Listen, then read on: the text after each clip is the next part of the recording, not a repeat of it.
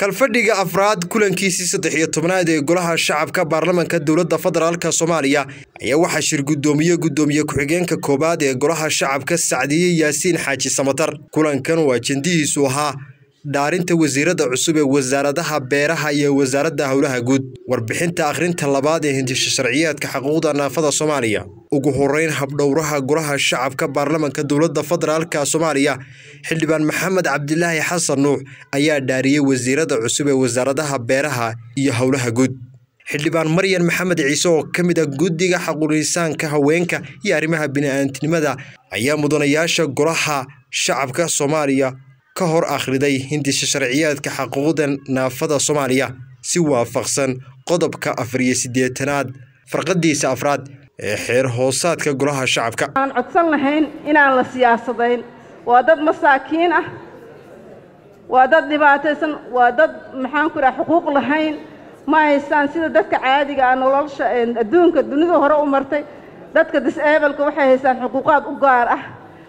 Dowladahooda u dooda.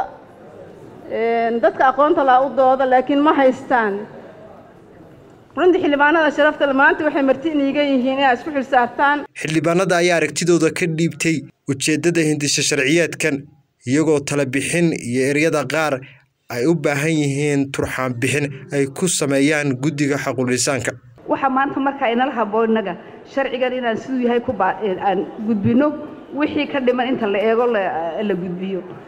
Haddaad eegto iminka markaynu waddadan soconno maxay hayto afisyooni waxaad arkaysaa dad badan oo waddankeenna u naafoobay oo luguna ku boodaya. Waxaad arkaysaa markaynu u soconno airboodka raxandhan oo fadhida oo innaga inoo soo naafowday oo halkaa jooga aad arkaysaa. Markaa tamarna ma hayno dowladda qorshe fara ooga yaallaana ma jiro.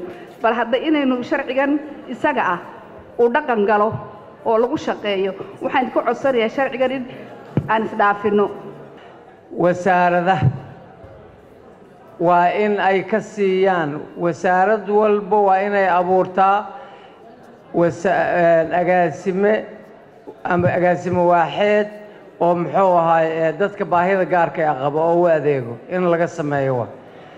Hadda ma leh wasaarad leh muxuu ahaay dadka baahida gaarka ee qabo siise xil ma laha. Qofka inuu baahi muxuu ahay xaquuqdiisa uu ku waayo muxuu ahay baahi gaar ah uu qabaa inuu xaquuqdiisa isku waayo maaha gobolka banaadir ayaa ka jira meel maanta xafiiska dadka baahida gaarka ee qabo iska furyaha gobolka banaadir unbaa ka jirta.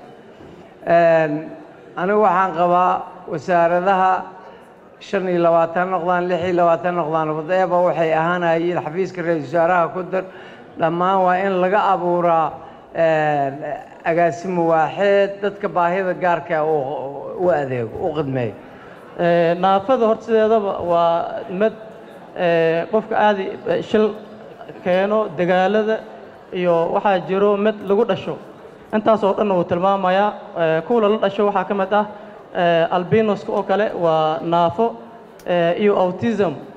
Inta cudurrada oo waxay yihiin lala dhasho waana naafada sharcigana wuu tilmaamayaa sidaasi daraaddeed aad buu muhiim u yahay. Waxaan jeclaan lahaa in in la ansixiyo. Telefishinada oo soomaaliyeed dhammaantood ma laha dadka dhagoolada eh si ay ku kartaan iyo warbixinada ku gaaraan. Marka waxaan leeyahay iisheeg taasna in loo sameeyo oo lagu soo kordhiyo oo dadna shaqo abuur u noqoto oo wariyaasha kalene ay ku tababartaano oo newska mar walba la socotane waan soo jeedinaa adduunyada mid walba telefishinada caalamiga o dhan waa wada leeyihiin. Marka sharcigan waa sharci aad iyo aad u fiican waa sharci waajib in laga shaqeeyo. Intaan in ka badan ay naga mudan yihiin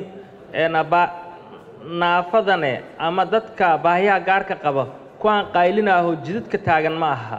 Dad waxaa jira guryaha ku jiro oo aan soo bixi karin. Waa kuwaas in la raadiyaa. Waxaan taageerayaa hay'adda iyo sanduuqa laakiin hay'addu hadday jirto shaqo fiican ma qaban. Hay'addu hadday jirto shaqo fiican ma qaban. Sababtoo ah dadka muslimiinta ahi waxbay ku sadaqaysan lahayn hadday u bandhigi lahaayeen dhibaatada jirta liis keeni lahaayeen xarumo samayn lahaayeen waxbay ku sadaqaysan lahaayeen.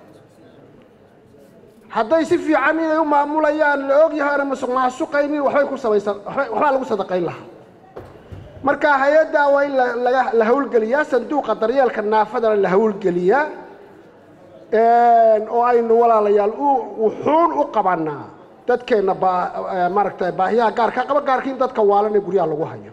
Ugu dambeyntii guddoomiye ku-xigeenka koowaad ee golaha shacabka dowladda federaalka soomaaliya marwe sacdiye yaasiin xaaji samatar oo kulanka soo xidhay ayaa fartay guddiga xuquuqlisaanka haweenka iyo arrimaha bini'aadantinimada inay akhrinta saddexaad ku soo biiriyaan tala soo jeedinta iyo turxaan bixinta mudanayaasha golaha shacabka dowladda federaalka soomaaliya